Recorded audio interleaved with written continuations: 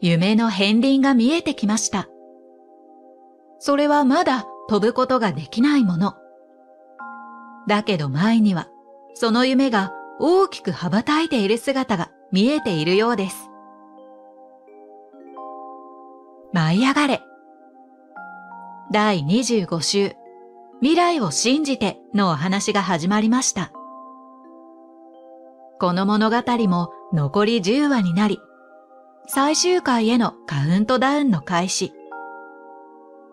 最後のお話は、空飛ぶ車に舞が挑戦するお話になるようです。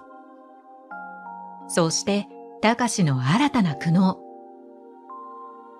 第118話のお話は、笠巻が講師の子供たちへの技術教室がコンネクトで行われていた。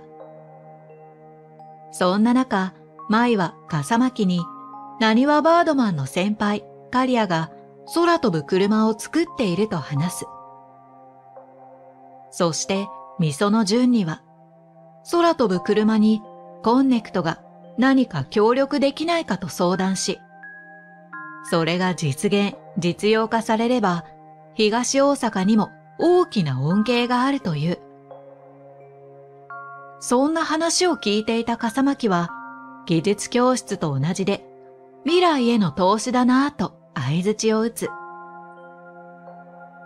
第118話は、このようなお話になるようです。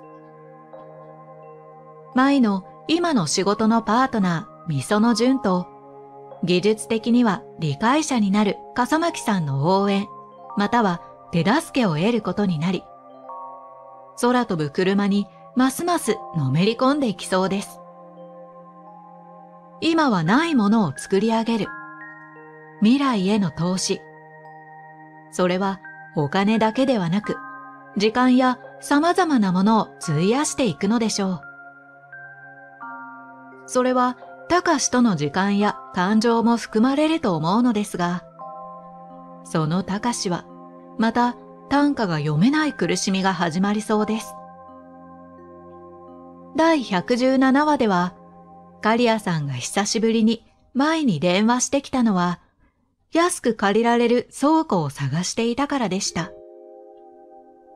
カリアさんと玉本さんは会社勤めを辞め、自分たちでアビキルという会社を立ち上げています。彼らはドローンで空飛ぶ車を作ろうとしていました。舞は二人の話を聞き、なにわバードマンを懐かしく思い出す。カリアさんと玉本さんは、あの頃のまま空への憧れを追い続けていました。舞は引っ越しが落ち着いたら試作機を見に来ないかと二人に誘われます。なにわバードマンで仲間と過ごした日々は舞の青春でした。初めてスワン号で琵琶湖の空を飛んだ時の感動は彼女にとって大切な思い出です。そのことをきっかけに舞はパイロットを目指しますが、夢は叶わないまま終わってしまった。もし、ゴータさんが亡くなっていなかったら、リーマンショックが起こらなかったら、彼女はパイロットになっていたのかも。今、彼女は東大阪の工場の未来を作るという新しい夢に向かって頑張っています。空を飛ぶことへの憧れは今の前にもあるのでしょうか彼女の強い思いは心のどこかに残っている気がします。舞は空飛ぶ車の試作機を見ようとアビキルを訪れました。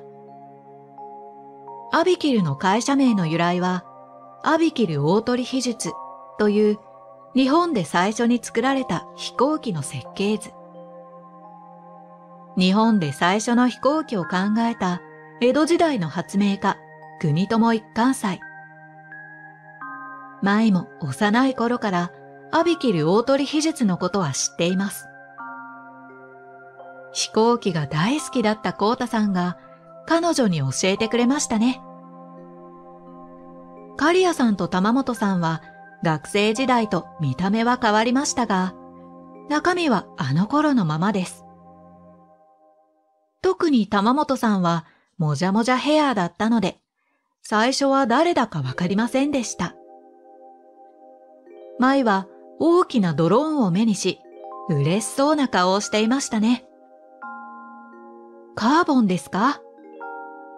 即座に質問した彼女は、長く岩倉の営業をしていただけに、材質のことには詳しそうです。二人の先輩に比べ、舞は少し落ち着いて見えました。学生時代と変わらず、空に憧れ続ける先輩たちと、現実と向き合いながら生きてきた舞は、どこか違います。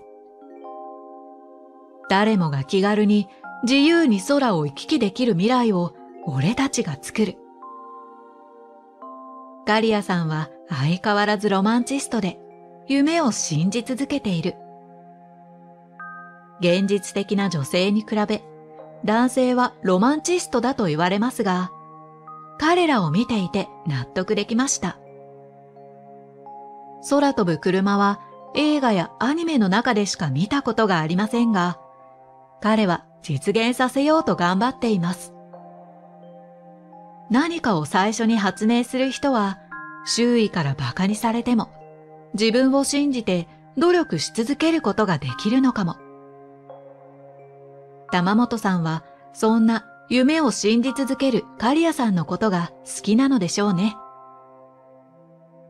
しかし、舞が再びアビキルを訪れた時、二人は喧嘩していました。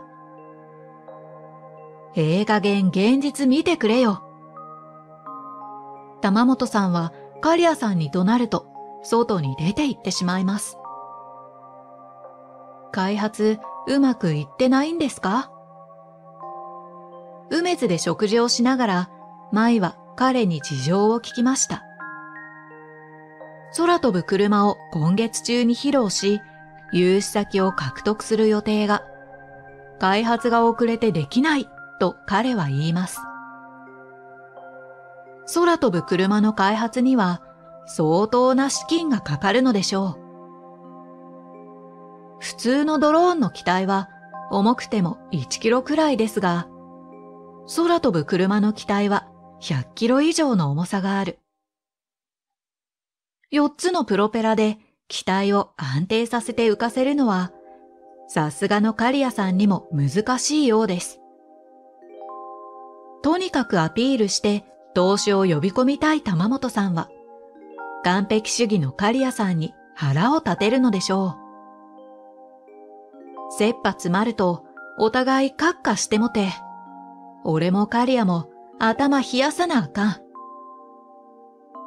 アビキルはドローンの開発資金に苦労しているようです。大きな夢を叶えるには、やはり多くの資金が必要。玉本さんが現実的なところでガリアさんを支えているのでしょう。2025年に開催される大阪万博では、4種類の空飛ぶ車の展示が決まっているそうです。ガリアさんと玉本さんの夢は、数年後には現実に。古田さんと的場さんは、大阪万博の相談のため、コンネクトに来ていました。東大阪の工場とアビキルはつながっていくのでしょうか？そして、翔子さんは、高志の影響で読書にハマっているようです。大阪に来てからは周囲が手伝ってくれるので、急に何もすることがなくなり、彼女は寂しげでした。高志が勧めた本がきっかけで、彼女は毎日本に没頭しています。彼に誘われて、翔子さんはまた出らし寝に行きますが、そこへ東京から劉北条がやってきました。後藤の、翔子さんは高志の恩人だと聞き、彼も会いたかったようです。高志が短歌を作り始めたのは、後藤に行ったことがきっかけでした。彼はその時、翔子さんに励ましてもらったことを忘れていません。高志の第二歌集の評判を聞いて喜ぶ翔子さんですが、彼は第三歌集のことを劉北条に相談され苦い顔をします。歌読めてます？劉北条はそんな彼の表情を見て聞いていました。高志は白紙のノートに何か書こうとしては消し、いい短歌が浮かばず悩んでいるようです。彼は念願だった短歌集を出すことができ、夢が叶ったことで目標を失ったのでしょうか。彼にも次の夢が必要な時なのかもしれません。最後までご視聴いただきありがとうございました。